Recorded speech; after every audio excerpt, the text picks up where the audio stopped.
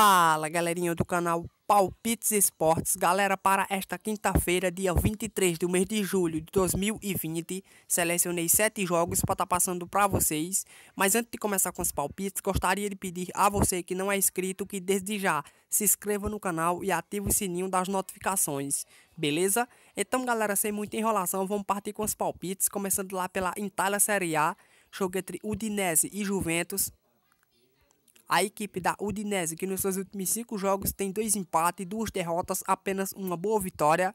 A equipe da Juve, que nos seus últimos cinco jogos tem uma derrota, dois empates, apenas duas boas vitórias na classificação. A equipe da Juventus vem liderando com 80 pontos, como vocês observam, e a equipe da Udinese está ali brigando desesperadamente para se afastar da zona de rebaixamento, né? Apenas o 16º colocado do campeonato. Nesse confronto não temos muita coisa o que falar aqui não, né? A Juventus é muito superior tecnicamente, com melhores jogadores, beleza? Por conta disso você vai de melhor opção Juventus para vencer jogando fora. Tá com medo do resultado negativo, você pode optar por jogo de ambas as equipes marca, já que ultimamente a equipe da Juventus tanto tem feito gol como também tem levado, né?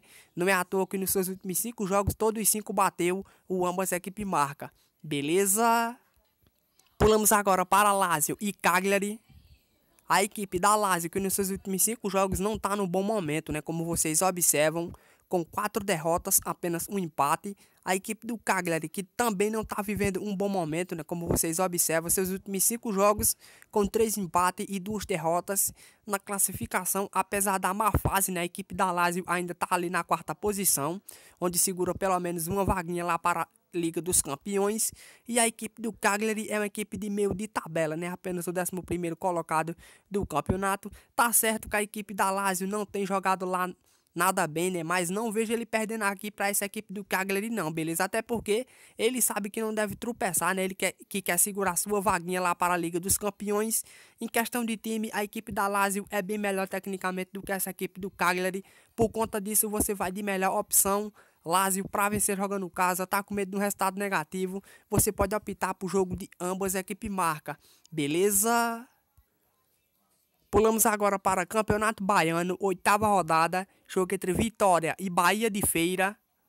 A equipe do Vitória, que nos seus últimos cinco jogos tem duas derrotas, duas boas vitórias, apenas um empate.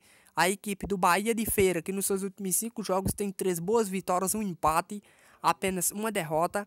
Na classificação, a equipe do Bahia de Feira é o terceiro colocado. A equipe do Vitória, por sua vez, é o quarto colocado do campeonato baiano, né? Como vocês observam. É um confronto pra gols, galera. Mas eu vou preferir arriscar na equipe do Vitória. Porque a equipe do Vitória tem mais investimento, beleza? Tem melhores jogadores do que essa equipe aí do Bahia de Feira. Por conta disso, você vai de melhor opção. Vitória com empate da equipe do Vitória jogando em casa. Opção mais arriscada, você pode optar por jogo de ambas equipes marca. Já que são duas equipes que ultimamente tanto tem feito gol como também tem levado. Tá certo? Pulamos agora para Dinamarca, primeira divisão, 33ª rodada, jogo entre Frederica e Nicobing. A equipe do Frederica, que nos seus últimos cinco jogos tem três derrotas, apenas duas boas vitórias. A equipe do Nicobing, galera, que está vivendo um péssimo momento, né? Como vocês observam, os últimos cinco jogos dele não sabe o que é vencer com cinco derrotas consecutivas. Na classificação, a equipe do Frederica é o terceiro colocado a equipe do que por sua vez é o décimo colocado do campeonato, né? Nesse confronto, a equipe do Frederica é muito favorito, galera, porque é bem melhor tecnicamente do que essa equipe aí do Nicole que não tá no bom momento, né? E principalmente jogando fora de casa, como vocês observam, os últimos cinco jogos da equipe do Nicobing jogando fora tem quatro derrotas, apenas um empate, beleza? Ou seja, é um péssimo visitante. Por conta disso, você vai de melhor opção Frederica para vencer jogando casa. Opção mais arriscada, você pode optar por jogo de ambas equipes marca, beleza? Pulamos agora para Campeonato dos Estados Unidos, fase de grupos, jogo entre Los Angeles FC e Portland. A equipe do Los Angeles, que nos seus últimos cinco jogos tem três boas vitórias, apenas dois empates, né? A equipe do Portland, que nos seus últimos cinco jogos tem três boas vitórias consecutivas, apenas duas derrotas.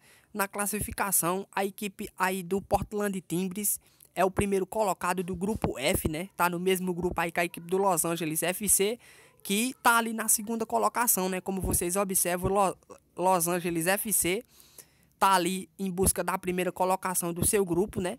É um jogo em que a equipe do Los Angeles FC é muito favorito, galera, porque jogando em casa ele tem feito boas partidas, né? Como vocês observam, a equipe do Los Angeles, que nos seus últimos cinco jogos em casa tem apenas dois empates e três boas vitórias, beleza? E em questão de elenco, a equipe do Los Angeles FC é bem melhor tecnicamente do que essa equipe do Portland.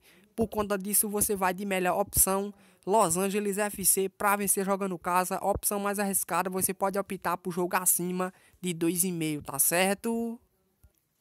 Pulamos agora para a Suécia, primeira divisão, décima rodada. Jogo entre Malmo e Hammarby. A equipe do Malmo, que nos seus últimos cinco jogos tem dois empates, uma derrota e duas boas vitórias consecutivas. A equipe do Hammarby, que nos seus últimos cinco jogos tem dois empates, duas boas vitórias, apenas uma derrota. Na classificação, a equipe do Malmo é o segundo colocado com 16 pontos. A equipe do Hammarby, por sua vez, é o 11 colocado do campeonato, né? É um jogo em que a equipe do Malmo é muito favorito, galera. Por quê? Primeiro, tem uma equipe bem melhor do que essa equipe aí do Hammarby, beleza? Com melhores jogadores. Segundo, a equipe do Malmo jogando em casa é um bom mandante, como vocês observam. Os últimos cinco jogos da equipe do Malmo jogando em casa tem três boas vitórias, apenas dois empates, beleza? Por conta disso, você vai de melhor opção aqui, o que? Malmo para vencer jogando casa. Opção mais arriscada, você pode optar por jogo de ambas equipes marca, já que a equipe do Malmo ultimamente tanto tem feito o gol como também tem levado, tá certo? Pulamos agora para a Suíça, Superliga, 33ª rodada, jogo entre Chamax e Youngsboy. A equipe do Chamax, que nos seus últimos cinco jogos tem duas derrotas, dois empates, apenas uma boa vitória. A equipe do Young's Boy, que nos seus últimos cinco jogos tem quatro boas vitórias, apenas uma derrota. Na classificação, a equipe do Young's Boy vem liderando com 64 pontos. A equipe do Chamax, por sua vez, é a pior equipe do campeonato, né? Como vocês observam, é o Lanterna beleza? E nesse confronto não temos muito o que falar aqui não, né? A equipe do Young's Boy muito favorito, beleza? Tem uma equipe bem melhor tecnicamente, com melhores jogadores do que essa equipe aí do Chamax, que só a vitória o interessa para a equipe do Young's Boy, né? Já que tá ali na briga pelo campeonato, beleza? Vai jogar nesse confronto aqui pensando no possível tropeço da equipe do Santigallen, né, que vai fazer lá um confronto direto com a equipe do Basel, beleza? E por conta disso você vai de melhor opção aqui o que? Young's Boy para vencer jogando fora.